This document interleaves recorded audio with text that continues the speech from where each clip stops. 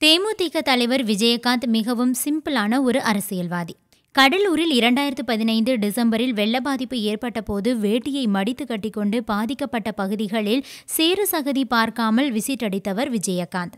அதேபோல் சென்னையிலும் படகில் சென்று பாதிக்கப்பட்டவர்களுக்கு உணவு வழங்கினார். இப்படிப்பட்ட விஜயகாந்த் கட்சி கடந்த சட்டசபை தேர்தலில் படுதோல்வியை சந்தித்து ஒரு சீட் கூட வெல்ல முடியாமல் போனது.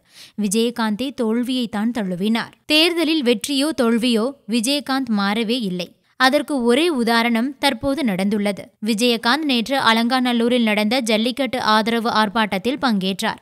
முன்னதாக ஈரோடு மாவட்டம் கவந்தப்பாடியில் நடந்த நிகழ்ச்சியில் மனைவி பிரேமலதாவுடன் கலந்து கொண்டார். நிகழ்ச்சி முடிந்ததும் சென்னிமலை வழியாக மதுரைக்கு அவர் காரில் வந்து கொண்டிருந்தார். மதியம் இரண்டு முப்பது மணியளவில் சென்னிமலையை அடுத்த நொயல் ஆற்றின் கரையோரம் விஜயகாந்த் கார் சென்றபோது பசி வயிற்றை கிள்ளவே ரோட்டோரம் காரை நிறுத்தச் சொல்லியிருக்கிறார் விஜயகாந்த். ரோட்டோரம் இருந்த தென்னை மர நிழலில் ஒரு வீட்டின் முன்பு விஜயகாந்தும் அவரது மனைவி பிரேமலதா மற்றும் அவர்களுடன் வந்தவர்களும் நின்று கொண்டு மதிய உணவை சாப்பிடத் தொடங்கினர். முண்டாசு கட்டிய விஜயகாந்த் வேட்டியை மடித்து கட்டிக்கொண்டு பாக்குமட்டை தட்டில் எடுத்து பரிமாறப்பட்ட உணவை வாழை இலையில் போட்டு சாப்பிட்டார். வாழை இலையும் கூட காரின் முன்பக்கத்தின் மீது விரிக்கப்பட்டு அதன் மீது சாப்பாடு பரிமாறப்பட்டது.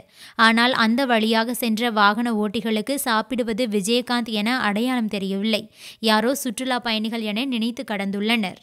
இதனிடையே சென்னிமலை சென்றிருந்த அந்த ரோட்டோர வீட்டுக்கு சொந்தக்காரரான விவசாயி முருகேசன் மற்றும் அவரது மனைவி செல்வி ஆகியோர் அப்போது வீட்டுக்கு திரும்பியுள்ளனர். வந்தவர்கள் விஜயகாந்தை பார்த்ததும் அவரது மனைவி அடையாளம் கண்டுபிடித்து இன்ப அதிர்ச்சி அடைந்துள்ளார்.